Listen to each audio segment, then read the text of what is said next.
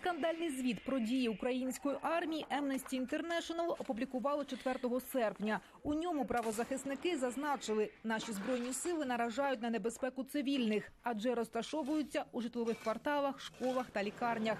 Цим, мовляв, притягують вогневі атаки росіян. Така тактика порушує міжнародне гуманітарне право та ставить під загрозу цивільне населення, оскільки перетворює цивільні об'єкти на військові цілі. Звіт вибухнув як інформаційна бомба. Обурилися всі від простих українців до європосадовців. Українська влада звинуватила правозахисну організацію у вибірковості та маніпулятивності. Така поведінка Amnesty International – це не про пошук і донесення світові правди.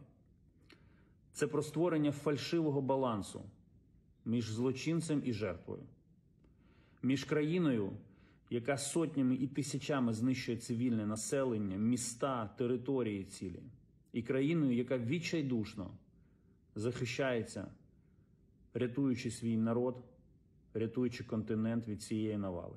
І попри те, що російські обстріли атомної станції є одним з найбільш небезпечних злочинів проти українців та усіх європейців, проти права на життя кожної людини, чомусь немає звіту і навіть просто. Просто повідомлення від Amnesty International про це дуже красномовне мовчання, яке ще раз вказує на маніпулятивну вибірковість цієї організації. Таку позицію підтримали у Єврокомісії, розкритикували звіт і впливові світові змі. Зокрема, британське видання The Times вважає, Amnesty International, зводячи наклеп на жертв російської агресії, заслуговує називатися рупором пропаганди режиму Володимира Путіна, адже у Кремлі одразу заходилися смакувати деталі скандальної доповіді. Amnesty International цього тижня рішуче взялася за підрив довіри до себе. Колись шанована гуманітарна кампанія нині демонструє сумну байдужість до пригноблення. Проявивши себе м'яко щодо злочину і фашизму, вона повинна піти зі сцени.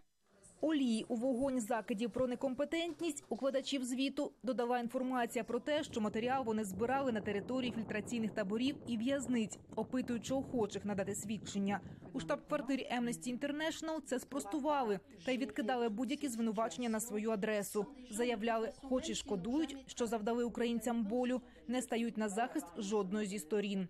А ось директорка українського офісу Оксана Покальчук звільнилася на знак незгоди. Все розбилося об стіну бюрократії та глухого мовного бар'єру. Справа не в англійській, а в тому, що якщо ти не живеш у країні, в яку вдерлися окупанти та рвуть її на шматки, тобі напевно не зрозуміти, що ж тут такого засудити армію захисників. На хвилі критики з посади пішов співзасновник шведської філії Емнесті Пер Вестерберг. Нобелівський лауреат з літератури наголосив, завданням організації завжди вважав допомогу політв'язням. Нинішні ж заяви то перевищення повноважень. Скандал відвернув від Емнесті й спонсорів. Саме тільки фінське відділення втратило понад 400 донорів. Цього тижня кількість людей, що припинили пожертви для організації, значно зросла. Остаточні цифри зможемо назвати лише у вересні, коли підіб'ємо підсумки за серпень.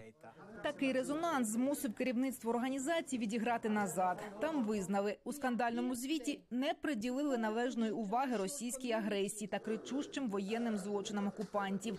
Тож тепер документ перевірять незалежні експерти. Зокрема, вивчать процес підготовки матеріалу та проведуть юридичний і політичний аналіз.